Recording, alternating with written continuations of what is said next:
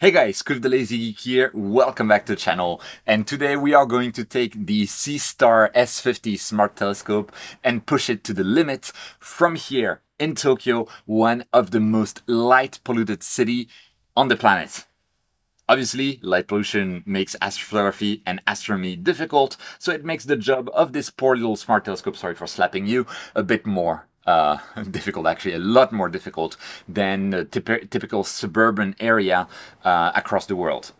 Uh, still not as bad as Singapore on, or Hong Kong on the Hong Kong Island, I would assume. So I'm still I'm, I'm still lucky how are we going to push this little guy to the limit? So what I've done is I have taken images using this little uh, thing's internal light pollution filter, which is actually a dual band narrowband filter, uh, on two emission nebula. One was the Veil Nebula, uh, I think it was the western Veil side of the uh, Veil Nebula, and I've also taken an image of what we call the Wizard Nebula, which is a, a favorite of mine, and which I always had as an amateur astrophotographer starting out trouble to capture.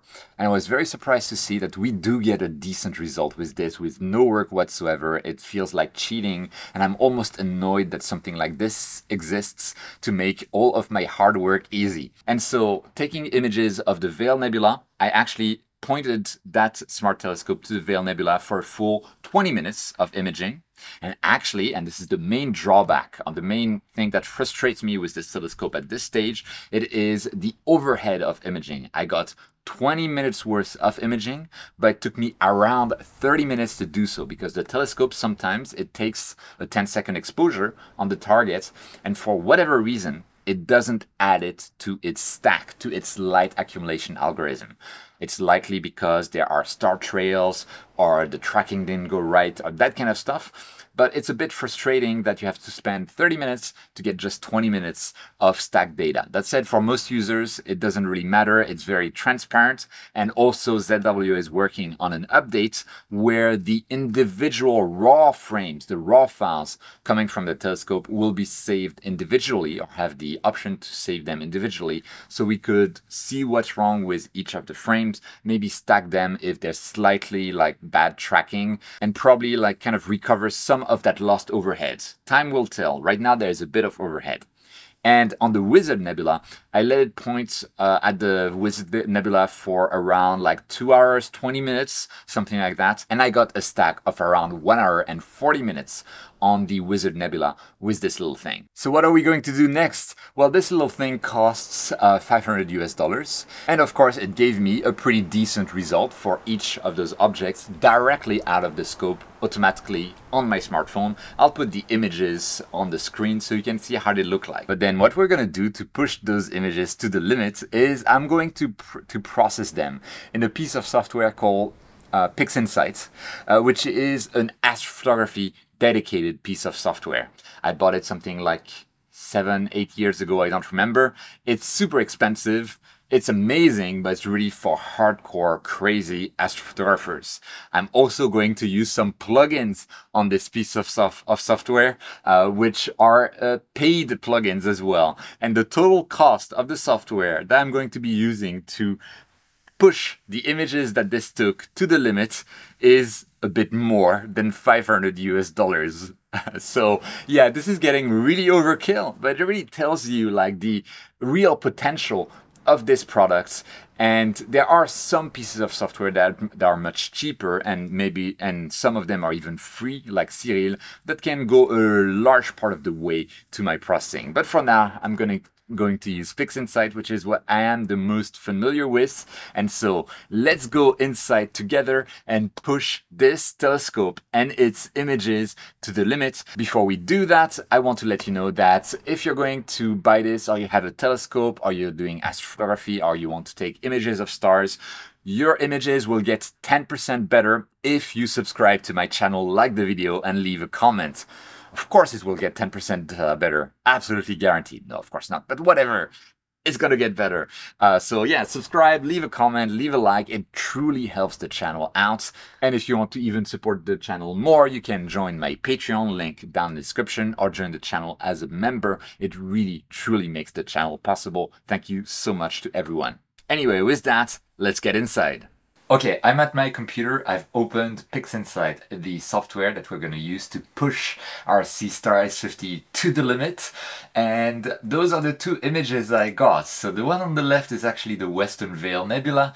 The one on the right is the Wizard Nebula. You wouldn't be able to tell because they're very, very black. You can see some spots of light which are stars. That's actually very interesting. This is because the Seestar S50 saves those images as raw frames. And a camera camera sensor, it only counts photons linearly that arrive to its pixels, whether our eyes, they do further processing when, when we're looking at stuff. They do some contrast adjustment, they do what we call stretching of the image.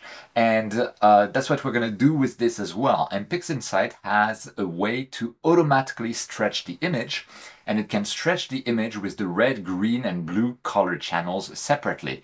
And internally, this is what the ZWO Seestar S50 also does uh, to achieve its uh, image. So let's apply this uh, automatic stretch of the image and there we have the two images. On the left, we can see the Veil Nebula. On the right, we have the Wizard Nebula.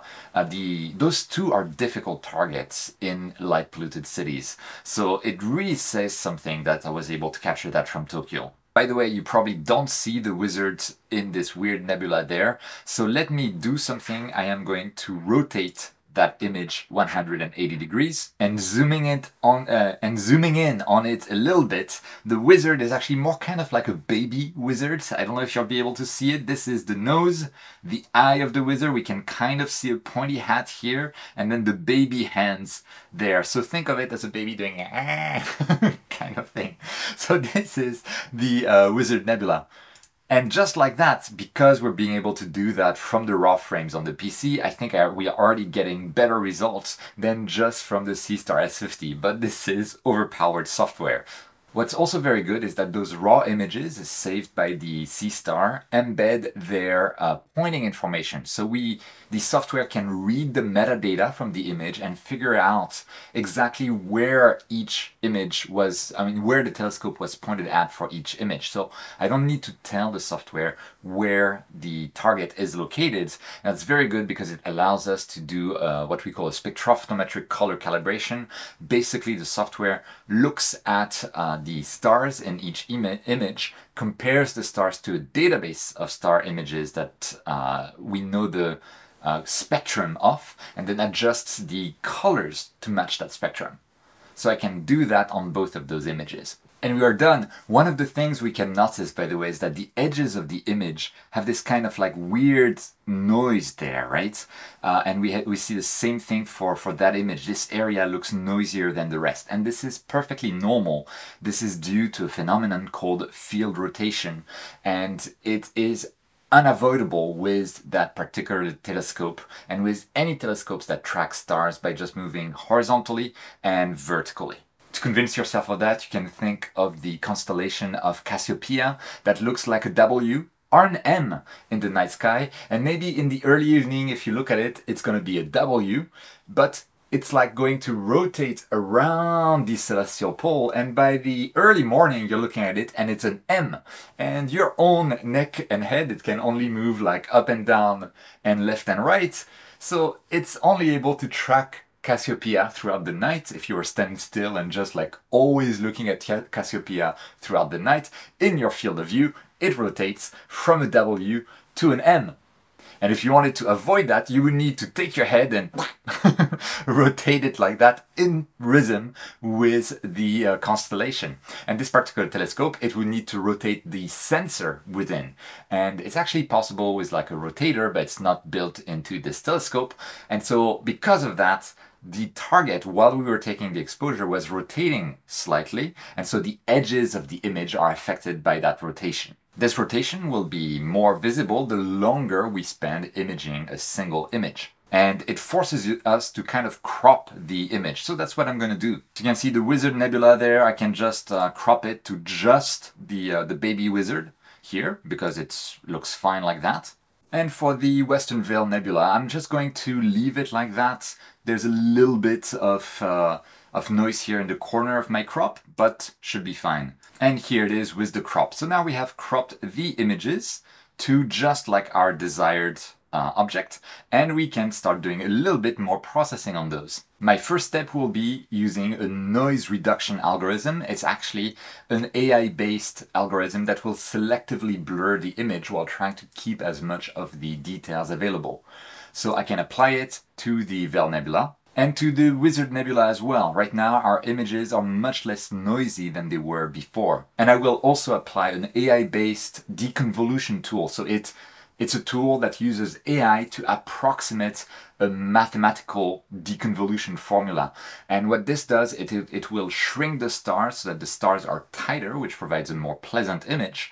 And also it will try to eke out the details that are available in the image without inventing new details. And after applying that tool, you can see the stars are much tighter and neater than before. Now, up to now, we've been working on the what we call the linear state of the image, meaning the image straight out of the sensor. And the way that we're looking at the image right now, it's just an illusion. If I remove the uh, temporary stretch function or the display only stretch function, you can see the images are still black. To our eyes, they look like nothing. Now we need to apply a permanent stretch to the image. And that's what I just did using a simple script that is available for PixInsight, although PixInsight has tons of very customizable tools to achieve that, that stretch. It's all too complicated for someone like me who is very lazy. And so I just used a script and you can see that the stretching is a bit softer than what we were working with earlier, than that display only stretch. And this uh, lets you have a, a darker background. The next step, now that the images are, are, stretched, is very similar to what we do to do image processing in software like Photoshop. And it's going to be color, saturation, brightness, contrast adjustments uh, throughout the, uh, the images. It's going to take a little bit of time, so I'm not going to spend much time on it in this video, but I'll show a little bit of a fun thing that I do with the Wizard Nebula, uh, which is we're gonna, the, the Wizard Nebula, even though when you look at it right now, it looks like it's pretty much only pink and red.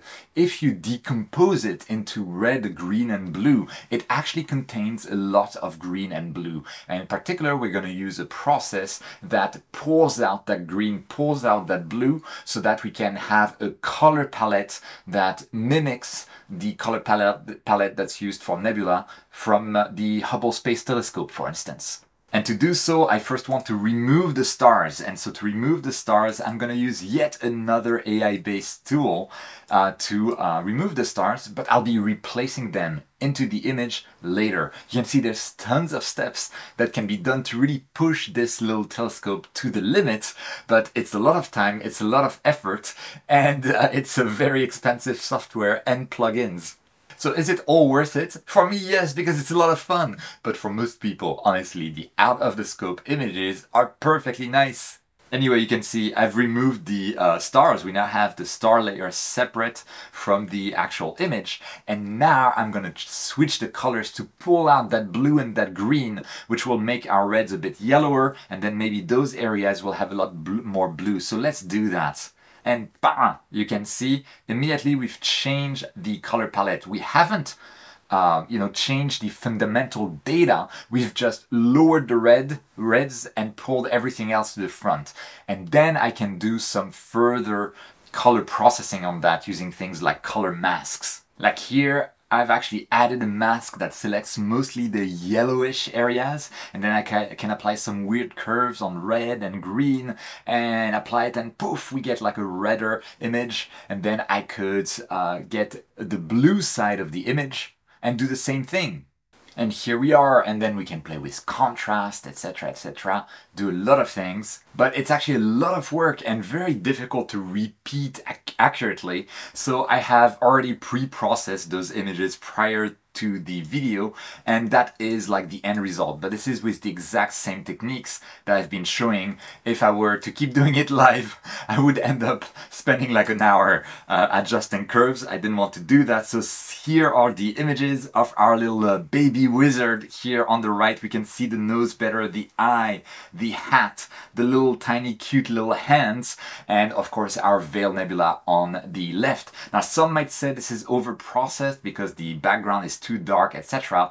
But that's the whole point. It is to taste. And with that, I will leave you with some zoom ins to these two images. I hope you enjoyed and I hope to you enjoyed this video pushing the ZWO Seestar S50 to the limit with software that costs more than the telescope itself because I'm an idiot. Uh, with that, don't forget to subscribe, click that bell icon, like and comment on the video what your, your, are your thoughts on that. But more important than that, thank you so much for watching. Don't forget whenever you can to look up at the stars and I'll see you next time.